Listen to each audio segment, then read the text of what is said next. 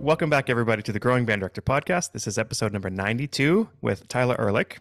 Tyler is a currently a doctoral uh, TA in wind band conducting at the University of Texas at Austin with Jerry Junkin, and um, really excited to have you on the program. How are you? I'm great. Thank you so much for having me, and I'm looking forward to our conversation. So you're now you're now uh, getting your doctoral in wind conducting. Um, but can you tell us a little bit about your your history before that as a as a music educator? Absolutely, yes. So I just finished, or maybe not just finished, but back in April, I finished the first year of the DMA in wind conducting here at UT Austin.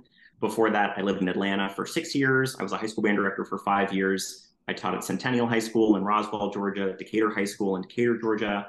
And um, I also conducted the Emory University Wind Ensemble for three years. And while I was living in Atlanta, I also worked with a community band called the Atlanta Wind Symphony under the direction of David Kehler. So I worked with that ensemble as well. So that was my sort of my most recent professional experience. Before that, I lived in Athens, Georgia for two years, where I did my master's degree in wind conducting um, with Cynthia, Cynthia Johnston Turner, who was the director of bands there at the time. So that's basically my most recent professional experience. I'd, I'd summarize it as, as that. And so you made the decision as a music educator. Did you did you know you always wanted to go back for a DMA? I y- yes, I, would say mostly so. Um, and it's so, interesting because mm-hmm. yeah. So the, the, I guess the question I had was like to people who may be on that fence as teachers. You know, I, I got a I got a an, under, an undergrad and a grad degree, but I I didn't I was not interested in going on, but I did it all right away because I wanted to you know just do it right away. But I know some people like yourself will go teach and then come back for more. So, what advice do you have to people who are on that fence? Yeah, I mean, it's a, it's um, I'm totally right there with you, and and all of those uh, career steps I think are pretty big life changes. I mean, my my partner and I moved here to Austin. I mean, we've been together for eight years now, but we've been able to find sort of a very compatible lifestyle living in Athens and then living in Atlanta. And then him and I both making the jump to move to Austin to pursue professional opportunities here. So, of course, when you're considering family and other things of that nature, like that, that very much becomes complex. Um, I'd say it's it's something that sort of took a while to to figure out where exactly I wanted to land. Um, I, I, knew that it was really important in the collegiate music education, wind band conducting space to have um, public school teaching experience, and I think that's something that everybody um, has always advised me to do. So I knew right after I finished my master's degree, I wanted to spend you know four or five years at a minimum teaching public school. And I and I really love doing that. And I learned so much by doing that. And, and one of the main things that we're going to talk about today is something that was really challenging for me and something that took me a while to sort of fit figure out a groove in so I think the biggest words of advice I can offer for folks that are considering it or that um, want to make that jump is to consider engaging with the faculty that teach at those universities and trying to seek out specific mentors that you're interested in studying with um, two years ago, I applied for the UT conducting workshop and I got to spend a week here in Austin. I had a really wonderful time. Um, but UT wasn't the only school that I did conducting workshops at and, and mm-hmm. connected with faculty at. So trying to figure out who might be a really great mentor for me professionally and personally. Um, and then I was able to find that in Professor Junkin, which was quite wonderful. And then going to the workshop, fostering that connection and applying to study to do the degree with him. So just trying to figure out ways to build those relationships, I think is really crucial. I remember being being mentioned. Somebody mentioned to me you should consider going back to grad school for conducting, and they said you're looking for three major things. I want to hear if I want to know if you disagree, agree, or if you have more to add as well. Um, somewhere where you're going to get some money, somewhere um, where you'll have podium time, mm-hmm. and somewhere where you can really connect with the person who's you know your main professor. Absolutely, right? and I think that I think I would rank those in reverse order. I think trying to find somebody that can be your mentor is the most important thing. And and people have differing opinions on this, which is totally fine. But personally, for me, the mentor is more important than institutional clout or anything of that nature. I mm-hmm. think trying to find a specific person that you feel like can guide you um, professionally and help you work on what what you need to, because of course we're all sort of on our on our own journey with this process, is really important. And then personally with conducting degrees, it seems like most schools are able to offer some sort of assistantship because we have a responsibility to be working with the band area and of course all of the setting of the chairs and stands and all of the, the grunt work, but also the teaching of conducting classes, working with the athletic bands, that seems to provide some sort of a financial stipend, at least when I talk to my own peers. And then this, remind me of the second thing, we talked about the money and the teacher.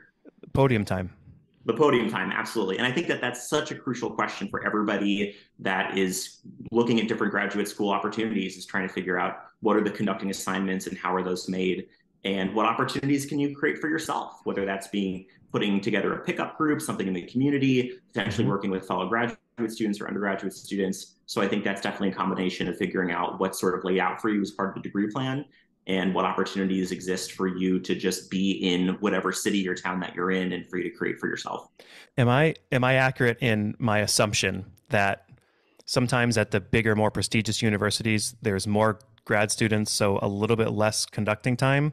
And then if you went to like say maybe a B school, you might have more podium time. Is that accurate or not? I, I think it's possible. I mean, I talk to peers at you know every every level school, I would say, and I think it definitely varies. Um, I think it's something that teachers try to figure out a way to do as equitably as possible. You know, I don't mm-hmm. think that they necessarily want to show like they're favoring anybody because of course I don't I don't think that's that's quite right, you know, to try to maintain their studio culture as positive as it can be. Um, so I, I think that that's just a conversation that gets to be had. But I'll be honest, I mean, I was, you know, when I was listing out sort of what I was doing while I was in Atlanta, I was teaching three concert bands by myself. I was working with a college wind ensemble and I was working with this community band. So I was probably, you know, like most music educators listening, I was looking at what, 18, 20 pieces of music at once. Mm-hmm. And to be totally frank with you and your audience, feeling very overwhelmed and drowning in the amount of score study and preparation I felt like I had to do in order to be as fastidious and prepared as a teacher as possible. So, gosh, that was a really tall order. So, to be able to have the time here to actually really pare down and focus mm-hmm. on, okay, I want to watch every single minute of my rehearsal video twice. And one time I'm just going to focus on what I'm hearing, and one time I'm going to focus just on my actual conducting and movement. And to be able to have that time to really refine the craft during the graduate degree has been just so incredibly helpful for me. So I don't think it's necessarily a bad thing to be able to sort of pull, pull that back a little bit because it really lets you have much more of a keen and watchful eye on your own growth as a conductor, which has been for me really huge within the first year. So you've so you sparked a couple questions for me. Um, first of all, you talk about recording yourself in rehearsal. That's something that we can all do even without going to a degree, right? And it's it's just the amount that we talk and what we're showing and what we're and how we're rehearsing. That's just a huge, a huge thing. Is that something you did before you came to UT? Hundred percent. I mean, I, I wish I recorded myself um, more when I was teaching high school. I recorded myself a lot when I was conducting at Emory. So I would just set up, you know, a $19 tripod on Amazon and I would put up my iPhone in the back and it had enough of a, na- a battery to record a 90 minute or two hour rehearsal and I would watch as much as I physically can. Or I could put it when I was when I was teaching in Roswell first and I had a 25, 30 minute commute, I would just put it on through my car speakers and I would just listen to myself teaching and asking myself, am I making sense? Are the students actually responding in the way that I'm asking them to? Are things actually getting better? As you said, how much time am I spending talking versus actually conducting and showing mm-hmm. things gesturally? So having that commute was really a great time for me to be able to reflect on my own teaching practice. I, I, I did a meeting with Phil Edelman a couple episodes ago, a good friend of mine who's a, a professor at UMaine and he says he has a student in his percussion section who is like his timer. And if he's if he's talking for more than i forget if it was 15 seconds or whatever this kid just holds his drumstick up. So if That's he sees it in the back it's like a cue to like stop talking dude. That is so wonderful. Yeah. and, and, it's great that he's able to lean on the student and think about sort of the responsibility that that student feels to get to sort of hold his teacher to that regard. So that's great. The second question i had is um, what would you do differently? Um, you know like i know you've mentioned this so now that you've had a year to kind of step back a little bit and enter it at UT, what are things you would do differently as a music educator?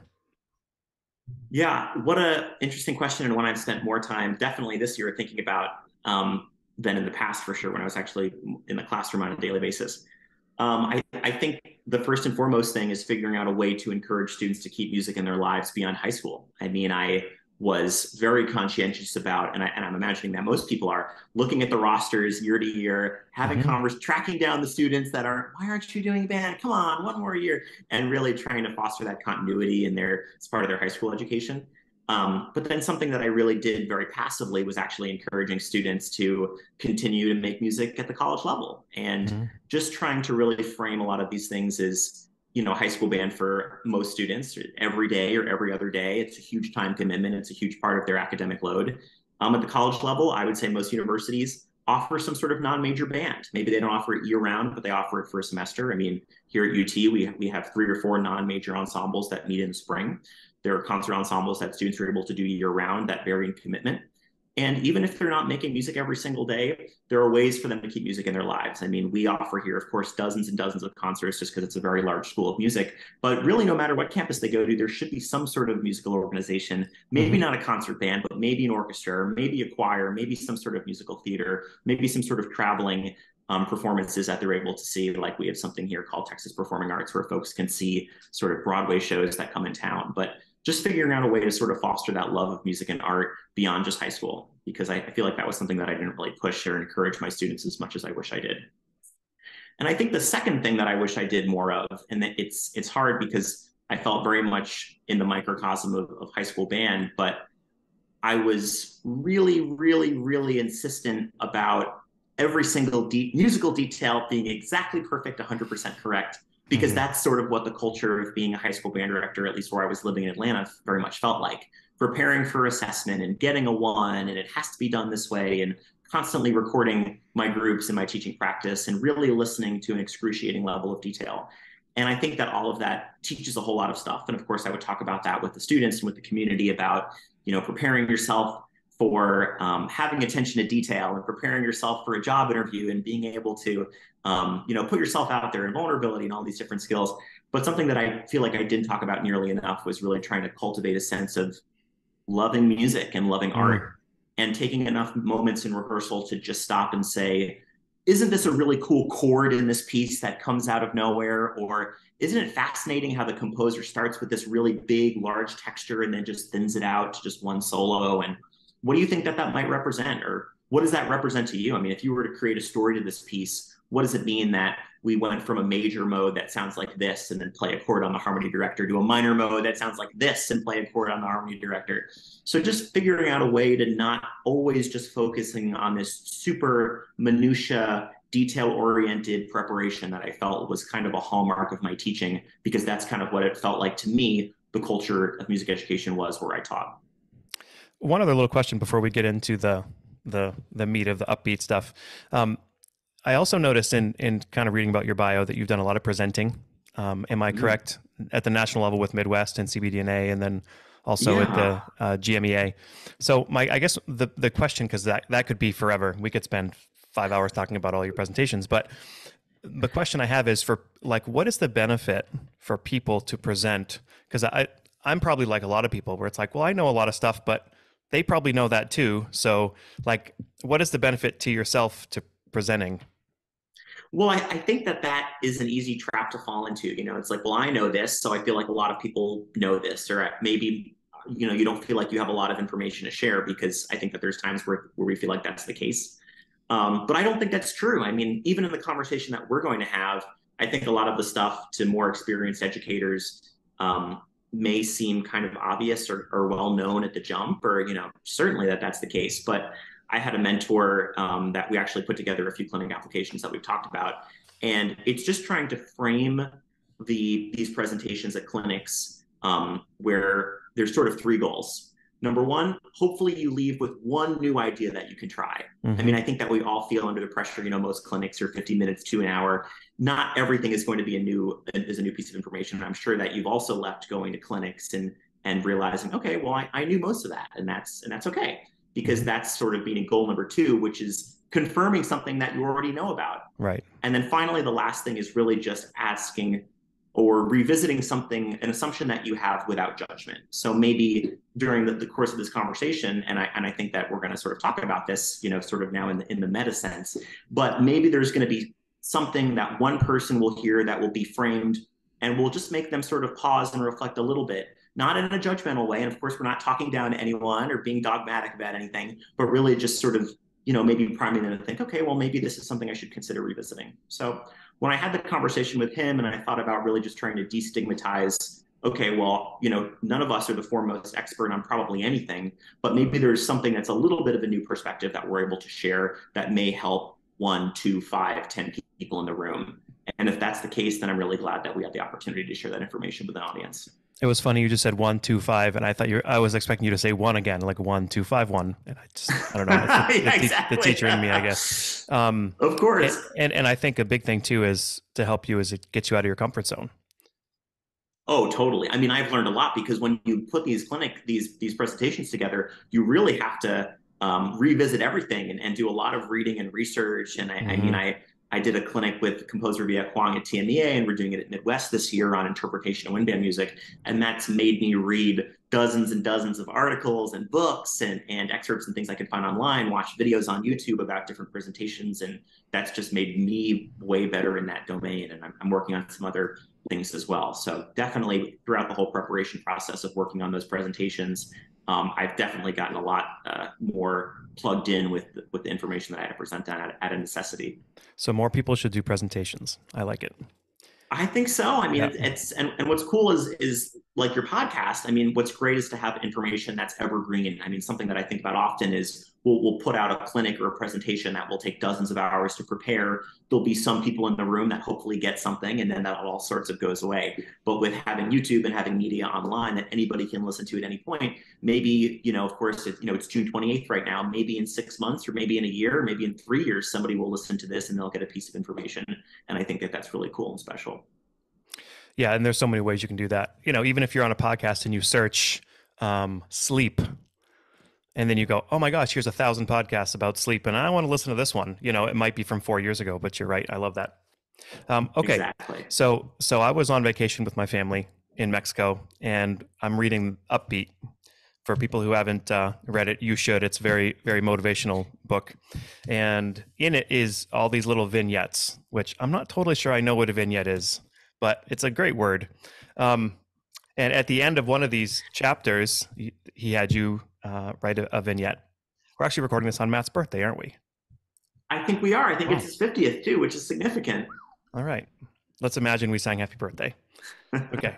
we didn't rehearse that. Um, okay. So I, I, was reading your vignette and it just struck me that this is something that should be the, a podcast episode. So I'm going to read the beginning and if you can kind of take it from there, that'd be great. Okay. Do we teach music or do we, um, oh, sorry. Do we teach music or do we teach students? I can do this. Okay. After completing my undergraduate and graduate degrees, I began the exciting adventure of full time student teaching. I was only a few days into it before I realized some of these students do not care about becoming better musicians. Yep. To me, this was a huge revelation. While I'd given great, sorry, while I had great musical training, I did not have a single tool in my toolbox to teach students why they should care about making great music. While struggling with the disconnect between my students and me, I also spent time considering the old age-old question, do we teach music or do we teach students? A shift in mindset answered the question and solved the apparent um, artistic apathy. We teach students the art of music. Students come before music. Yeah. I, I remember that moment vividly because I, I remember, um, I mean, and this was this was 20, fall of 2016 this was and i remember uh, the band the band room that that i was teaching in and the class and the students and um, yes it's it, it, it, hearing you read it back to me sort of floods my brain with the memory of that whole revelation. I mean every all of the experiences that i had before that and i'm i'm curious the demographics of folks that are listening but I'm, I'm sure that every teacher has had to consider this to some extent if they were anything like me which is the person that you know was in all state band was in jazz band was in mm-hmm. choir you know did everything he could do in, in in high school music then gets to college does the same thing right? Surrounded by people who love music that want to pursue this professionally gets to graduate school same thing. Now i'm going from a liberal arts school to a school of music. So there's a few hundred people that have the exact same interests and passions and curiosities that i have. And then going from all of that back to back now going into you know typical high school X, East, East Cupcake High School, we'll call it, and you're teaching your th- you know third band. The fact that we're, we're ranking them anyway is a whole other conversation. But you're ha- you're you're teaching these students, and here I was, you know, 22, 23, so definitely older than sort of your typical student teacher that's often like 20, 21. Um, and finally, for the first time, being presented with this really stupid face palm moment, which is, oh, not everybody in high school was like me. Not everybody was on all. You know, I was one of two or three kids that made all state band where I grew up. And, yeah, and, and you were in the top. You were in the top ten percent, right? But you, now, as the teacher, you have to connect with everybody. Hundred percent. Talk about a huge like, oh, duh. I wish, I wish that I, I wish somebody told me about that a little bit sooner. But of course, you know, experience is the best teacher. So that was a really, uh, that was a really big moment for sure, and, and so, the beginning of a big change. So, what was the secret? Well, you know, as we sort of talked about before we started recording, unfortunately, there is no secret. It's about fostering relationships. You know, and of course, I know this is also another old adage, but people don't care how much you know until they know how much you care. Mm-hmm. So yeah. figuring out. And mm-hmm. the, the word that you used was connection. That's the word that that struck out to me. That if you can connect with those students, it's then going to be easier to to do everything. Hundred percent. And there's, and to me, that was the biggest change because all of the training and all of the experience and the conducting and music education classes, blah, blah, all of that focused on teaching practice, pedagogy, artistry, music, music yeah. exactly. None of it actually focused on building, People. you know, I didn't take a class in college, none of us did, in, in, building relationships or connecting with today's adolescent. You know, I don't remember that course offering existing when I was a student. How useful would that have been, right? But that's where I found resources like this. I mean, this book didn't exist at the time, but that's where I started to figure out, okay, I need to figure out a way to, to, foster relationships with teenagers, which feels like a really weird and sort of calculated thing to say. But I think we just have to call it what it is. Building a connection with the students is the key to being able to actually teach them anything about music. So, so let me sort of ask you a follow up to that. The question is how? Like, what are some ways that you use to foster those relationships? I mean, I think the most obvious one is trying to find space for actually having a conversation with our students. I mean, most of us, I mean, I'm, I'm imagining we're, we're, this is a band podcast, so we're probably looking out to a sea of what on the smallest end, maybe 10, 15 students, and on the largest, who knows, 75, 80 students. Mm-hmm. How many of those kids do you actually talk to every day beyond saying sharper, flatter, louder, softer, longer, shorter? That's not really a connection. That that is you telling them what to do differently and then hoping that they make that change or insisting on them making that change. So we have a responsibility and a need to figure out actually how to have those conversations with kids. And maybe, you know, I mean, if Harry Wong, the first days of school or, or whatever the name of that book is, I mean, I remember reading that, you know, standing at the door, saying hi, giving every student a fist bump on their way mm-hmm. in, saying good morning, saying good afternoon, having open office hours having your door open during lunch. I mean, sure, we, everybody wants a little bit of peace and quiet, maybe if they have a 20, 25 minute lunch break during mm-hmm. their day, but figuring out ways to be able to foster conversations specifically with students that need it the most. And that's the students that don't come to you and want to be the drum major or want a leadership position or want to audition for the all state band or something. It's the students that are a little bit quieter, or maybe English isn't their first language, or they're a little bit more introverted. And it's just really going out of your way to give them some space.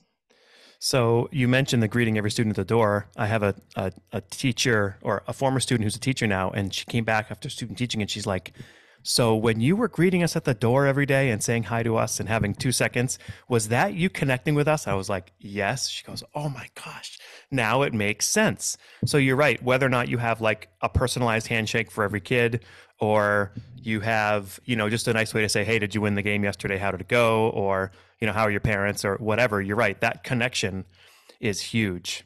And i find that that even just three seconds with each kid on the way in you you, you foster that through the rehearsal. Um, i also wanted to mention there's a lot of other ideas that i got from uh, an educator and composer named michelle fernandez. I don't know if you know michelle um, but i had her she's from florida. She's a great great writer and, and clinician and I did an episode with her in I think it was September of 2022, so it was a little while ago, and it was called "The Emotionally in Tune Band Director." I've had a lot of people respond to me that that has been their favorite episode, and um, she talks about all these ways that she was able to like emotionally get in tune with her students, and there was things like you know movie nights on Friday night, and I'm like movie night, I just need to go home and sleep, but she did it, you know, have, having a having a pool table in the band room during lunchtime with strict rules, you know, like all these things that I would like, wait, what, wait, what? And um, she's, she's like, no, I got all the buy-in from the kids. And then the program just took off. So that if people are looking for more ideas, and I'm interested to see if there's anything else that you did as well that, that uh, might have fostered those relationships. Um, but that's a good resource for, for people as well. Absolutely. And I, I mean, all of those, those suggestions sound great. And I, I can't imagine some some some back alley gambling or something. Of course, I would never assume that that would be happening, but I, I, it does it does make me giggle a little bit. Um, I think, and of course, as you mentioned, you know, oh, I I just want to go home on Fridays. So trying to hold all of these things in tension with one another, like like doing all those activities takes more time out of our incredibly busy schedules and potentially time away from friends and loved ones and other activities that actually let us recharge our batteries to be able to foster those relationships with students. I mean, something that I did, and this was this was from Matthew. I mean, having that having that gratitude wall and having slips next to it and having students write i have a photo of it somewhere this was back this was this was my, my old band room where it was big enough to actually have a gratitude wall mm-hmm. but having slips of paper where it said note of gratitude and students could basically just fill one out and put a student's name and, and staple it up there and isn't that so great and you know i mean i think about sort of those students that and this is heartbreaking to say but can, can potentially get a little bit lost because mm-hmm. they're so quiet and because they're so introverted and because they're always on task. I mean, it's always easy for us to figure out, or it's not always easy, but it's our tendency to figure out, okay, this student has a tendency to be disruptive. So I really have to solve that relationship or foster that relationship, whatever you want to call it, to be able to build, to, to be able to sort of solve this classroom culture issue. I use all those quotes because I realize that some of that is a little bit problematic to say.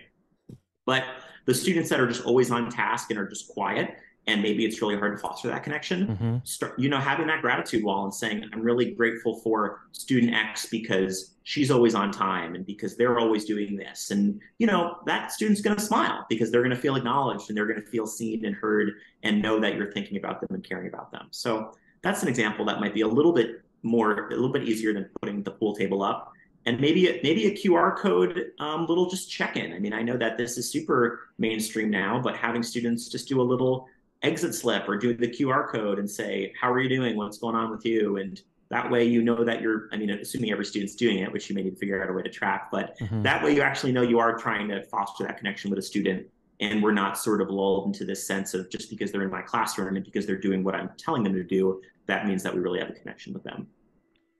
And I think another way that you can lead kids is the old, what's the old adage? You can't lead anybody before you can lead yourself.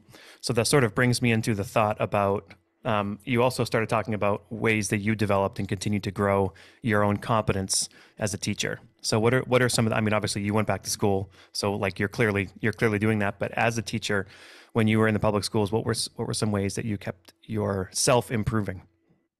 Yes, and there's no I don't get any kickback of these there's no discount codes or anything but I did go to, I met Matthew at the Conn-Selmer Institute a few years ago. I got a scholarship through um, a fraternity that was able to fund my trip, which was, which I was super grateful for. Mm.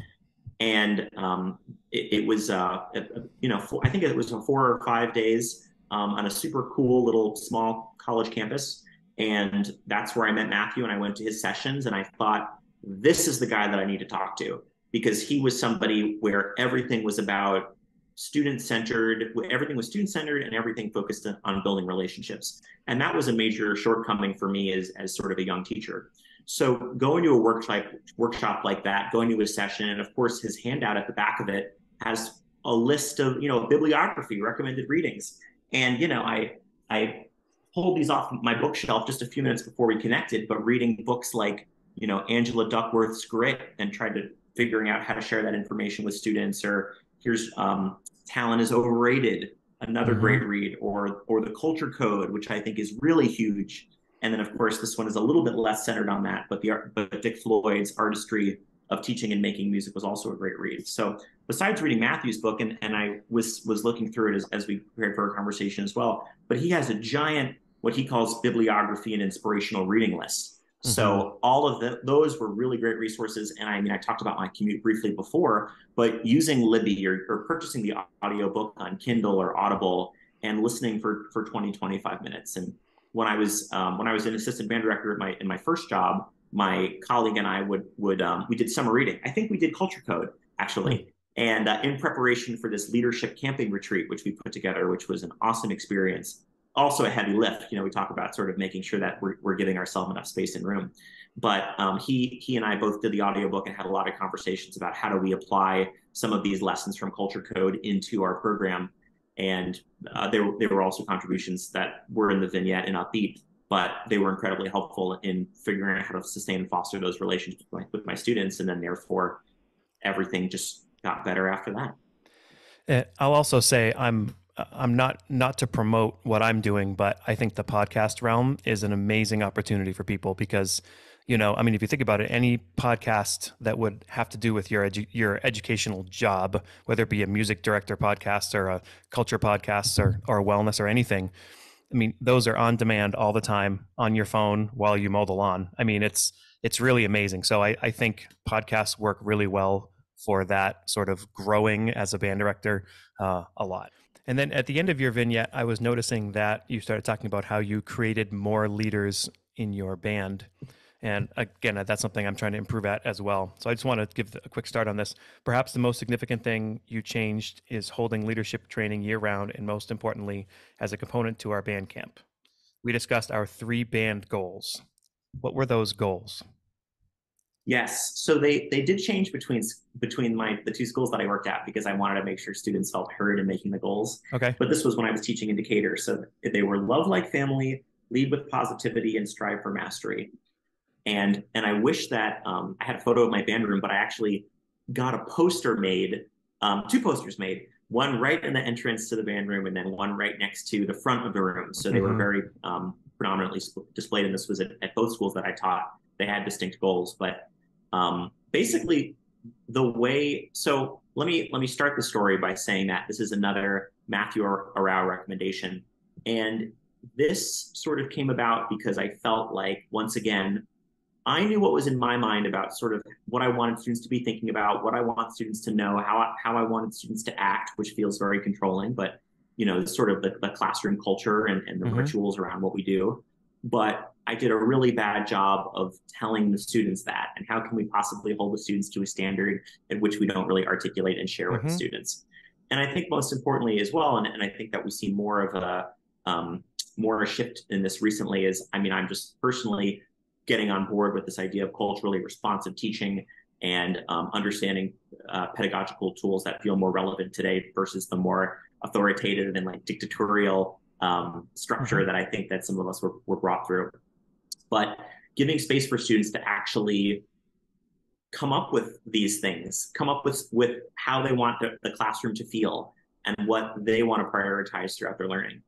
And the way that I did this, and this was really at Matthew's recommendation, but worked worked over COVID during virtual school time, worked of course in person, worked in two very different schools that I that I worked at. And that was this idea of breaking students up into groups and asking them what's why do you do band? Why do you love band? Why do you keep coming back every single year? What's important to you? And they would brainstorm a huge list of things. And some of those were things that i thought had more meaning than others. You know none of the goals are win a trophy every year. Get a one get a one at, at festival every single year mm-hmm. because to me that's nowhere near as important. But instead this idea of striving for mastery is a way that we can actually talk about always trying to do our best and something that continues in that vignette is not is only one person can be the best if you can even really rank them. Mm-hmm. but everybody can do their own best. I like the word so the mastery. that, the word mastery is and that's word, a, yeah. that's a david vandal walkerism another sort of georgia icon um, from the whole pedag- from a pedagogical and teaching standpoint. But the the idea behind the goals was was exactly that. So during leadership training so this was something in particular that happened right before um, my staff and i went through the leadership selection process but it was meeting with students and saying, you know, exactly what I said before. What do you want the classroom to feel like? What do you want to prioritize and everything? Breaking them up into groups. Then we would come together from those groups, and I would do this on, you know, a Google slide or a Google Doc or something, and just write down everybody's goals and ideas and, and things that they wanted. Then I would go through and bold what the similarities were. And what I found and this was this was different there was definitely overlap between the schools but there were differences like for example my second goal this idea of leading with positivity was something that came out of the fact that um, the classroom environment that I inherited was not always centered in positivity. Mm-hmm. And you can, and, and something that I would talk to my feedback, my students a lot is this idea that feedback can really be an emotionless thing. Like if I'm telling you you're flat, that's not a personal attack that's just telling you that you're a little bit flat. You're a terrible person. exactly. and trying to divorce that idea for students because I think a lot of them feel like they have to be perfectionists. And of course, you know, I try to normalize failures and talk about my own struggles and challenges as a teacher. Um, but bringing students in and saying, okay, well, something that everybody is talking about this is that we want to be nice to one another. So what does that that mean? It means, well, let's consider what a family is like. Maybe doesn't everybody always get along in a family environment, but at the heart of it, we know that we're a team and we're ones mm-hmm. that have to love one another. So that's mm-hmm. where that first came goal came from. So just trying to have those conversations with students about what are common things that they say, that they feel, that they realize about how they want their program to look. And I think maybe surprisingly, they're very aligned with ways that we want our classrooms to look as well. So going from there, trying to unify those goals, and then putting them on a poster and providing yourself the, with the opportunity to say if something if somebody says something that's rude to one another saying you know we're not really loving like family right now. Or if someone is doing some sort of sectional teaching or something and they're being a jerk saying that's not really leading with positivity right now and mm-hmm. providing that sort of built-in i'm gesturing to my my printed uh, poster with my goals but gesturing towards saying you know this was sort of the common agreement that everybody had not just me as the teacher. So what are ways that we need to model that? And i think the fact that it comes from them as much as you is is a huge piece of that um, and I, I think some people struggle with the positivity and being honest you know because it's uh, what do they call it? Toxic positivity or what i don't know if i totally know what that means but you know saying something's good when it's not good because kids can read through that too. And to me if you focus on the growth mindset you can be really positive while being honest with them as well talking about you know okay that's improved from yesterday. It's not where you're going to be yet but you know if you're honest with them but also positive you can walk that line you know because honesty doesn't mean negative. 100% i agree and feedback can be an emotionless thing and i and, and that's something that i really try to impart on my student leaders as well and just in my own teaching practice. So i 100 i totally 100% agree with you. Sometimes i wish looking going back to the part of the conversation about what you know what, what would i change? Sometimes i wish i drew more attention to things that were going really well with my students. I felt like i was always sort of in that fix it mindset mm-hmm. and I mm-hmm. didn't say, you know, wow, that was the most in tune we've ever played that, or that was the most unified that we've ever played that, and just really draw these these um, draw attention to the, the the wins that we get to celebrate. One hundred percent. Why can't we be happy? Why can't you just go? We just did ninety nine things amazing. We all have to focus on the one thing that isn't done yet. Yep. And we all struggle with that, and I still struggle with that in my yeah. own, you know, as a as a yeah. you know young professional or whatever you want to call. it. and and, and how do you how do you because we we want to get better at those things. So how how are you grateful and positive, but also striving for improvement as well? That's just a balancing act, and I think just being aware of it's it's a huge a huge portion. Um, I agree. So I had a couple questions that I, I I'm guilty of this. I actually just came up with decided I wanted to ask you today. Not that they're revolutionary questions, but I did not prepare you for this. So hopefully this goes well. I'll knock on some wood here. Um, so thinking about some recommendations from you, both about composers and pieces. Um, I'm wondering, can you give us a couple pieces that you think people should know about? And I, am not going to say no to like the grade six or grade five, but you know, kind of like a wide range of a couple pieces or one piece, you know, something that maybe you think doesn't get played enough or people need to know about more. Yeah, for sure. Um, the first one I'm going to say is one that I just did with our with our non-major band. I mean, of course, these are you know college students, you know, at a, right. at a really flagship university from Texas. So I, I, understand that that can sort of paint a picture about okay, well, hold on, but but truthfully, um, I feel like I wish I knew Maslanka's Illumination earlier. Yep. Me too. Okay, so that's one that you know as well. Well, I'm I I just learned about it from Onsby Rose like six months ago. I had never it was even commissioned close Perfect. here, and I'm going to use it next year. So good. What a great and what I love about that piece and what I was sharing with the students. This is going back to that you know not just sort of the fix it mindset, which I think a lot of us live in, but I'm a huge Maslanka fan, and my Wi-Fi password for the past ten years has been Maslanka Four, which is a very nerdy confession. Hopefully, nobody in my apartment building actually listens to your. I love that piece. Yes, but um, what's so what's so cool about um, that piece is that it introduces all of those Maslanka tropes, like the Hocket rhythms that get passed and forth, the melody that the, those chorale melodies that get played in augmentation, um, and I, I think that uh, it just it's such a cool way to introduce students. And what's great is is sort of that that can serve as like a stepping stone to maybe doing California or maybe doing Give Us This Day or something that that more people know about. Um, and and there there are more rigorous pieces by him. So I love that. I, I wish more, more great folks piece. knew that piece. Yes. Um, I think another piece that is a, that uh, technically is easier, but I think is a, would be a great fit for a lot of high school students is called Big City Lights by Marie Douglas. Is that a piece that's gotten talked about yet? I've never heard about that piece. Okay, so um, I think that that that should be playable by a lot of high school bands. Uh, Marie Douglas is from Atlanta, um, and she utilizes a lot of like trap elements. Um, there is like an electronics track, so mm-hmm. that can be like a little bit tricky, but it's just a start stop. Like you don't need Ableton or anything particularly involved to be able to use that.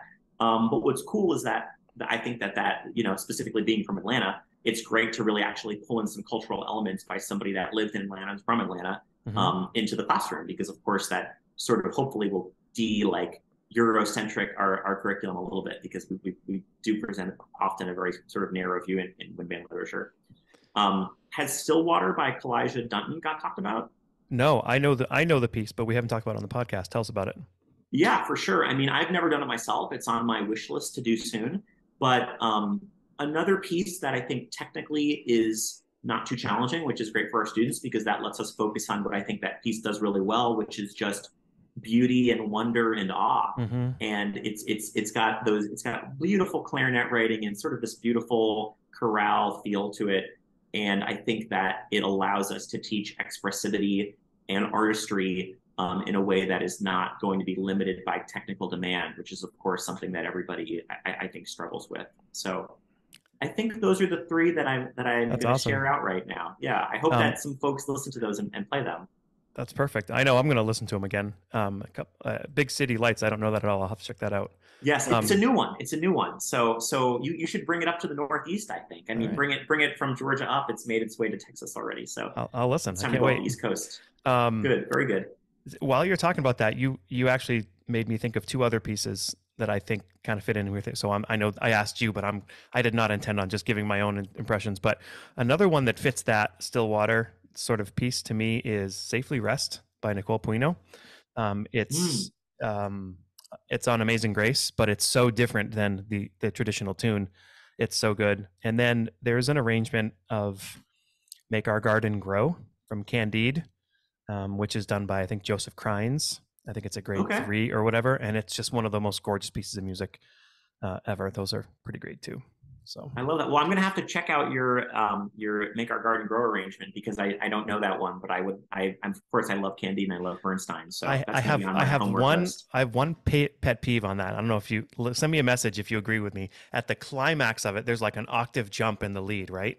And I think because it's at a certain grade level, it's from concert A flat and trumpet, but they don't let the trumpet go up to the high A flat. So they like concert mm. A flat up to the F. And to me, it's like totally robs that moment. And I'm not putting down the publisher or anything like that. It's just one of those you could clearly go, okay, that's supposed to be this, but they moved it down. So I know when I do it, my trumpet, my first trumpets will have no problem with the octave. So we're just going to change it to the the octave anyway. I, I, think that that is totally fine. You know, who, and some, who even knows who made that edit as well? I mean, that can open up a whole right, other conversation right. about interpretation. But yeah, I was just um, where did I hear this from?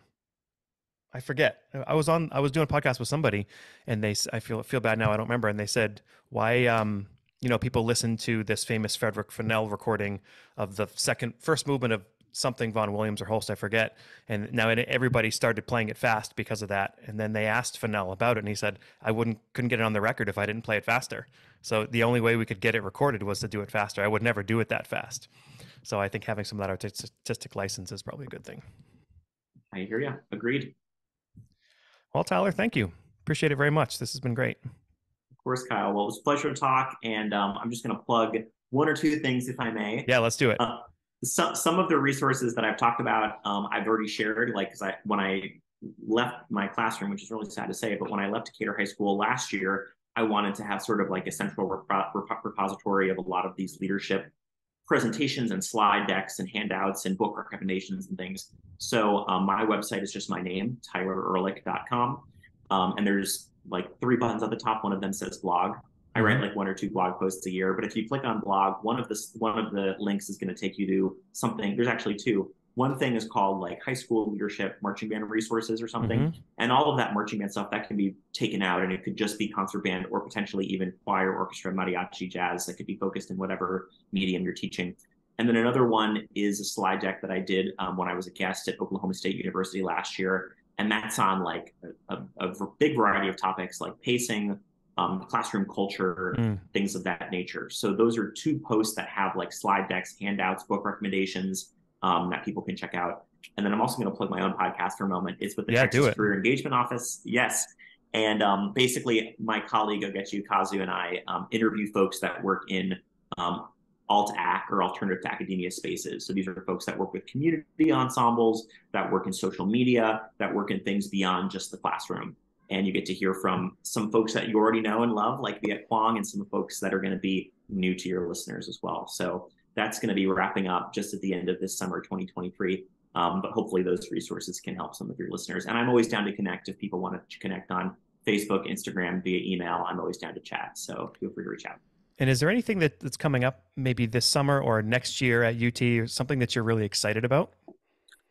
Well, we have a really, I can't spill the beans yet because I don't think anything's been published, but we have a really, really incredibly exciting concert season with um, University of Texas Wind Ensemble. Mm-hmm. Um, so that all of those concerts are completely free to stream. So if folks go to music.utexas.edu, um, the Wind Ensemble does three concerts in the fall, three concerts in the spring. Folks are more than welcome to join us virtually and check out some really exciting rep, some of which people know and love, some of which uh, is going to be new to new to some folks. And I think that both of those are going to be really exciting. And we do stream the Wind Symphony and we, we stream the Symphony Band as well. And the, the piece recommendation, Big City Lights, was programmed by the Symphony Band.